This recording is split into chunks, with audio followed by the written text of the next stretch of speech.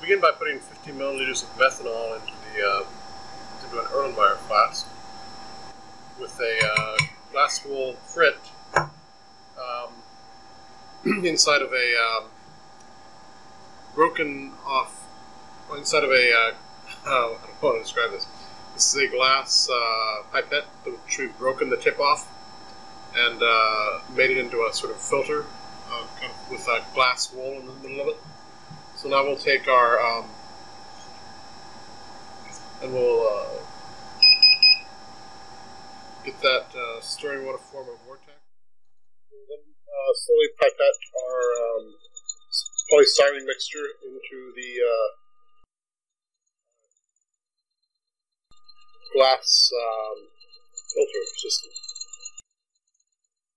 We'll add this stripwise. You can see that we immediately form a precipitate.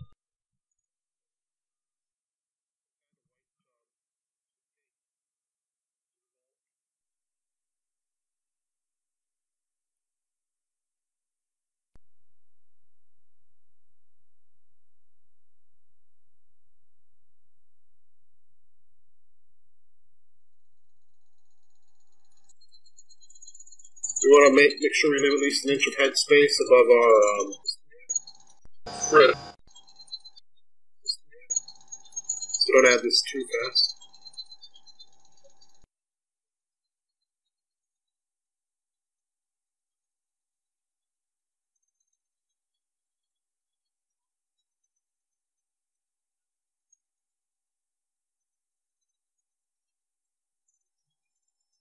And if we need to, we can take a take our little pipette here and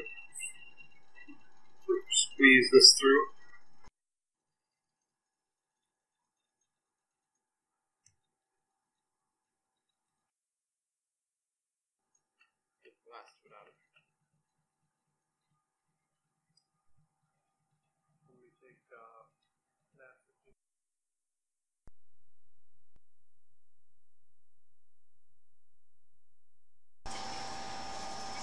This is the part of the lab I can't wait for.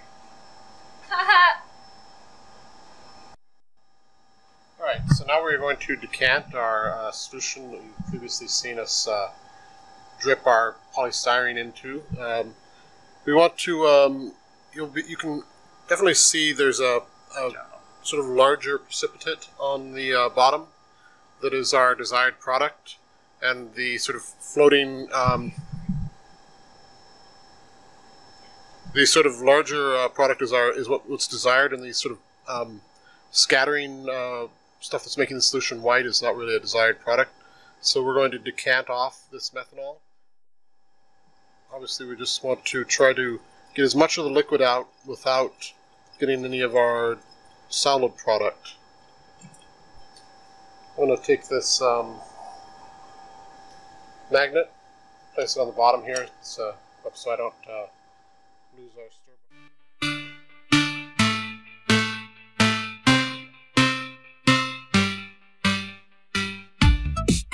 That's good enough, don't you?